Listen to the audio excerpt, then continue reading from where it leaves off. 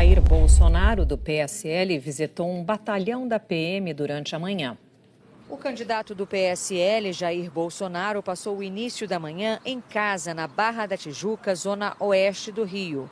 Às 10h30, Bolsonaro saiu para ir até a sede do Batalhão de Operações Especiais da Polícia Militar, em Laranjeiras, na zona sul da cidade. Ele não falou com a imprensa, mas a assessoria divulgou esse vídeo do encontro dele com policiais no BOP. Temos a segunda maior bancada em Brasília, sem televisão, sem candidato, sem nada. Isso vem de gente como vocês. Então nós temos que acreditar e tentar mudar. E buscar fazer a coisa certa. Eu acho que isso é possível. Afinal de não temos outro caminho. Assim encerrando, muito obrigado a todos vocês. Vale de tudo, pela confiança por parte de muitos. Pode ter certeza, em chegando, teremos um dos nossos lá em Brasília. Caveira! Caveira!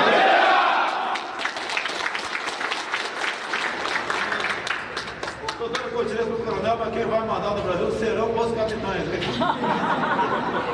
Jair Bolsonaro tem conversado diariamente com eleitores pelas redes sociais. Na primeira postagem de hoje, ele listou algumas propostas de campanha.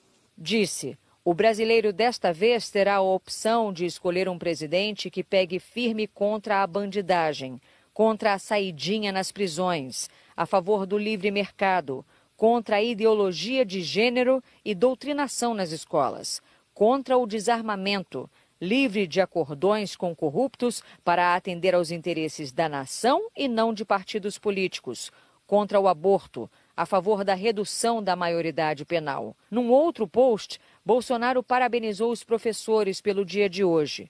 Também como professor de educação física, que sou, digo-lhes que estamos juntos na construção do Brasil que merecemos.